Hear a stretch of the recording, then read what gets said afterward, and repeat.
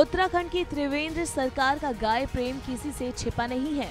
यही कारण है कि उत्तराखंड विधानसभा में पिछले साल सितंबर में गाय को राष्ट्र माता का दर्जा देने वाला प्रस्ताव सर्वसम्मति से पारित किया था। इस प्रस्ताव के पास होने के बाद राज्य सरकार ने खूब वाहवाही बटोरी थी। लेकिन ताजुब की बात यह है कि उसी विधानसभा से महज दो किलोमीटर की दूरी पर केदारपुरम क्षेत्र में स्थित कांजी हाउस में पिछले कुछ महीने में 105 गायों की मौत हो गई और सरकार को इसकी खबर तक नहीं। आखिर क्या है ये पूरा मामला? आइए आपको इस रिपोर्ट में दिखाते हैं। उत्तराखंड सरकार गौ संरक्षण, गाय संवर्धन की बड़ी बड़ी बातें तो लगातार खूब कर रही है, लेकिन कांजी हाउस में बंद गायों की हालत इतनी बदतर हो गई है। कि देख रेख के अभाव में लगातार इनकी मौत हो रही है। कांजी हाउस में बंद गायों की दुर्दशा देखकर आसानी से अंदाज़ा लगाया जा सकता है कि यहाँ किस तरह से गायों का रख रखाव किया जा रहा है। देहरादून के केदारपुरम में बने कांजी हाउस की हालत इतनी बदतर है कि यहाँ फैली गंदगी से ही पता चलता है। यहाँ पे रह रही गाय मरना सन्न हालत में रह रही है। ऐसे में इन तमाम गायों के चारे, पानी और उचित देखभाल में इतनी लापरवाही से सवाल खड़ा होना तो लाजमी है। बता दें, गौ संरक्षण का दावा करने वाली प्रदेश की भाजपा शासन काल में ही इस कांजी हाउस की शुरुआत की गई थी।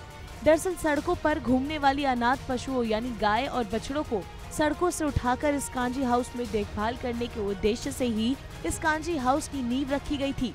बावजूद इसके, जिस उद्देश्य से इस कांजी हाउस की शुरुआत की गई थी, नगर निगम का सरकारी तंत्र उस उद्देश्य से पूरी तरह मानो भटक गया है।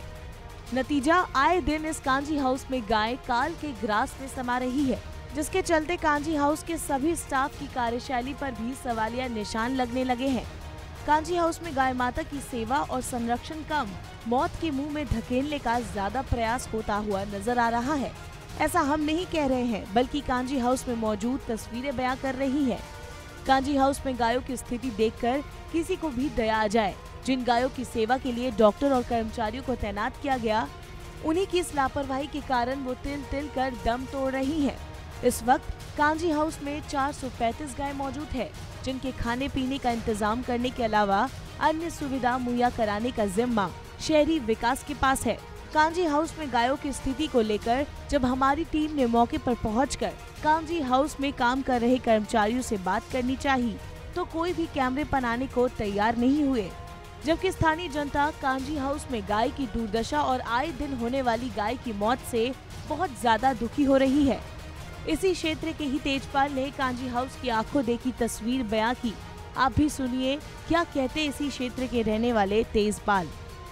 एक दिन देखा चार गाय मर गई, मैंने कहा कोई वैसे ही हो गया होगा बीमार बीमार अगले दिन देखा पाँच सात मर गई, फिर वो विक्रम में लाद रहे थे, मैंने फ़ोटो व्हाट्सअप कर दिया, वीडियो बनाई, उनकी वो दस पंद्रह गाय थी। आज फिर मर गई। वो तो आज आपने भी देख लिया वीडियो बना दी। कोई कोई इनकी सूदी नहीं ले रहा है। तीन चार दिन हो गए ना कोई भूसा है ना कुछ। बुक ना पानी है। और कल फिर मर जाएगी चार पाँच।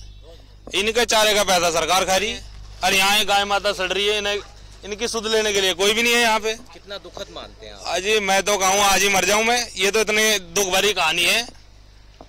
मुझे तो बहुत गंदा लग रहा है कि ये तिल तिल मर रही। इनसे बढ़िया तो इन्हें आज़ाद कर दिया जाए। क्या फ़ायदा हो रहा है यहाँ पे? ना कोई चारा है, ना पानी है, ना देखभाल वाला है। और जी, ये जो कर्मचारी है, इनसे पूछे, भाई, यहाँ पे क्यों क्यों नहीं कुछ कर रहे हो?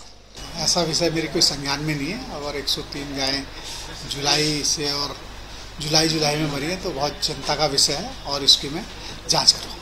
देखिए, सफ़ाई की व्यवस्था होनी चाहिए। और सफ़ाई जब हम हम खुद साफ़ सुथरे रह सकते हैं तो जानवरों को भी हमें साफ़ सुथरा रखना चाहिए।